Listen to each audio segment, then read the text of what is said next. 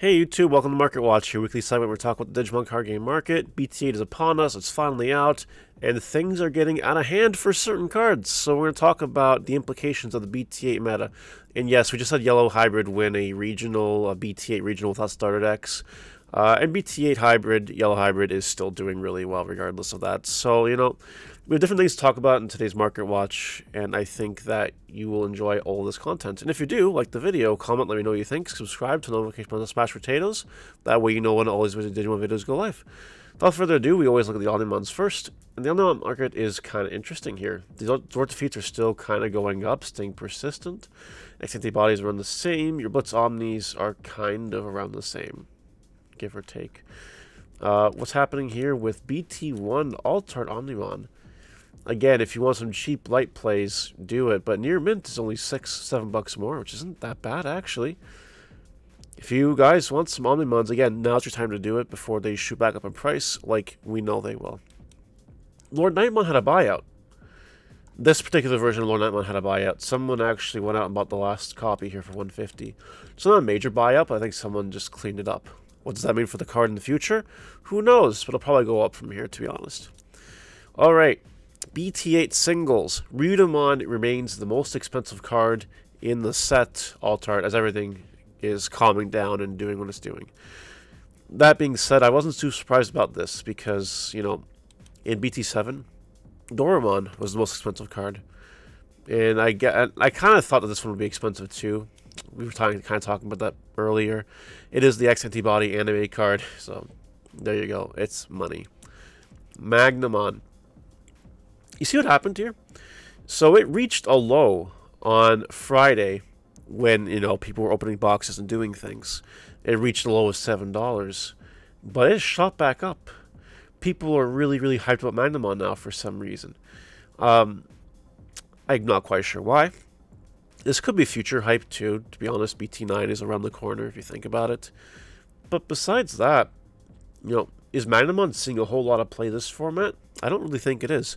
So unless that changes, you know, this will go down in price over time. Just give it some time to adjust. Black War Greymon. $8, $9. The card is kind of insane. Now, this is a tier 1 deck. I've been saying it's in square 1. And the price does reflect confidence in the card and its abilities. You know, if Yellow Hybrid is a good deck this format, Black War Greymon can just pop two of their Tamers. Zwart Defeat can pop a third. Uh, we were doing some testing with that, and like Black War Greymon doesn't do bad, and you can make it super anti-meta with cards like Breath of the Gods if you wanted to. So I don't expect this price to really hold. It might go up a little bit longer, but then it'll go right down. That's my opinion anyway. Flamedramon. Somebody told me they didn't think the Altart uh, armor cards would go at around 30 bucks. Yeah. Uh, 30 bucks basically. I mean, Armor Rush, this this is the main Armor Rush card, right? And like it's not anticipated to see too much tier 1 top level play, right? Comparatively to Imperial or Yellow Hybrid. What that means for the card is that there's less demand. And sure, it's an armor card. Sure, it's probably going future support. And sure, it's an anti favorite. This might go up over time. But I think this goes down a little bit first, in my opinion. This armor card, on the other hand, 40 bucks. And this kind of makes sense because Rapidmon, you play four of it in the tier 1 yellow hybrid deck. And that being said, if you want four Altarts, you know, that does put a premium on it, right? So this doesn't surprise me at all. Sure, it's kind of been going down, as you guys can see here. It might go down a little bit more, but Altart card you need four of in a tier 1 deck. It's probably not going too much lower besides that. Regular Rapidmon, though. 3 plus 4 shipping here. $7 super rare. Again, it hit a low. It hit a low when the set freaking came out around 5 $6. It did hit that 5 $6 mark. And then it just shot kind of back up a little bit. And I think the future of this card is kind of unknown because it is a tier 1 deck. People do need four copies of it. Um, I don't see this card ever dropping below 5 bucks in the current format that we're in. Time will tell to see what actually happens with it. But people keep really hyping up this deck. Uh, it's going to put a lot of pri price confidence into this card. Ouryumon, 5 6 bucks as well. Uh, even though it's not seeing anywhere near as much representation as Yellow Hybrid or Imperialdramon starting next week, you know, the X Antibody deck is still strong, if not my opinion. It's definitely capable of beating Yellow Hybrid, and I think people realize that again because you know it's got outs to DP reduction with Doorway. This makes it invulnerable to being deleted by opponent's card effects, or Ornamon in particular. And you can play Breath of the Gods. Again, you can just do that, and that makes your matchup a whole lot easier.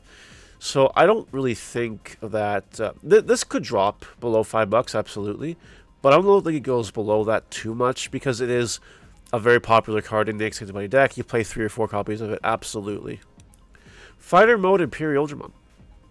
570 again hovering on the five six dollar mark it did have a low of five four bucks and then it kind of went back up a little bit um, this is super interesting because this card has extra printings right it's got the alt art from this set it has the ultimate cup printing which doesn't have any right now which is why you know it's kind of still relatively expensive for a super rare you only play like two copies of it one three if you're feeling super greedy uh, I think this drops below five bucks at some point, but keep in mind that that could change if Imperialdramon really takes off, and this card is a key player in it. Ophanimon Fall Down Mode has fallen down all the way to freaking five dollars again. It was three, four bucks on Friday when the set came out, and uh, you know it's kind of stabilized around five bucks. Ophanimon is a really good card, uh, not only in Mastemon, but also in Yellow Hybrid. People are playing one or two copies of this card. Sometimes none. I don't think I don't agree with that. But it is a good card. It is seeing play, and Ophanimon Fall Down mode is just good with potential future support as well, aka BT9 uh, or Dinimon or whatever, however you pronounce that card. I have no idea how to say that card's name. But, you know, uh, keep your eyeballs on this card. I think it goes down a little bit more. But, again, wait a little bit. But if you only want one or two copies, eh, it might be worth it to pick up anyway. Shiramon is garbage price. Yep. Angelmon here. 45 bucks. Give it some time. There's a lot of listings, but it'll buy out one day. Don't worry. This card, I don't even know why. If you guys know why this is a near mid $62 card now, let me know in the comments. Yes, I get that it's good, and some people are even playing it in yellow hybrid. Okay, it all makes sense, but like, damn, is that really enough to make this $62? I think it cools off. It might go up a little bit, but then it cools off. That's what I think. And again, it is BT1. There, there ain't a lot of that kicking around anymore. It's Kind of interesting though, eh? We thought that $40 was the highest it was going to be. oh man, I hope you bought them. I hope you. I seriously hope you bought these cards. Uh, Jet Sylphie. I wanted to cover this because it's thirty dollars pre-release, and uh, some of you may know that Yellow Hybrid did really well in a in a BT10 Japan tournament. So you might want to pick up copies of this card. The only risk is that it might get hit on a ban list. It might go to one. Whether you want to gamble with that is completely up to you. But I just want to present that information to you. There's no reason for this card to be $32. It's banned. It's a judge promo. It's really cool, it's technically max rarity, but don't buy this card. That's just a PSA. Just don't buy it, okay? Please don't. Thank you. Uh, Cocytus Breath. I bring this up because there's a $23 listing here, but then everything else besides that is 69 Nice. I'm not going to buy this listing. If someone else wants it, take it. Do it. There you go. Davis here is just is a $25 card now and going up. You guys are really running out of time to buy this card. This card is close to buyout range. I could see this card being a $30 rare next week. I could see it. Uh, you might want to grab your copies if you still haven't for some reason. Patamon had a buyout. Sure did. I hope you grab these variants of them if you wanted this version of the card. Yes, the confidence in yellow hybrid is causing this card to explode. Even this copy of the card had a little bit of a buyout, right? It was freaking two, three dollars a week ago, and look at it now. Look at it now, guys. It's crazy. Uh, that being said, I it's it's hard to say with this card, right? I have 12 copies of this card. I'm waiting. I'm hesitating to let them go at $6 a copy. I I do think that if Yellow Hybrid is being swarmed to by these massive numbers, the card goes up. I, I might have been wrong. Even though Patamon is not a main player in the deck, it's not. It's definitely the Tamers that do the work, and the hybrids, and the Rapidmons. While those are definitely a driving force of the deck, I guess you do need something to evolve. Rapidmon onto, Patamon being the best option.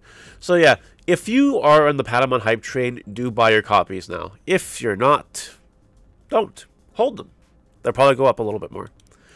This also had a buyout, it looks like. The Yellow Memory Boost promotion pack. See, now this is super interesting because this is the max ready version of Memory Boost, right? I guess we bring up Green Memory Boost as well. It has a lot of listings, but it's also just fucking going up in price right now.